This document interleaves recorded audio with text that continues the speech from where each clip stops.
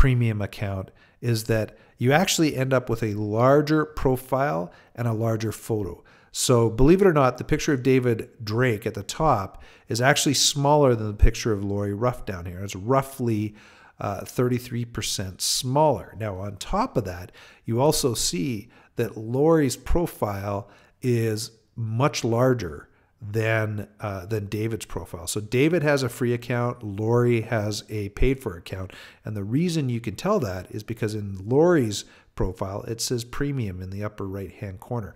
So it puts more information in, displays more for people, and really draws your eye in a lot better than say you know a free account. Benefit number seven of having a LinkedIn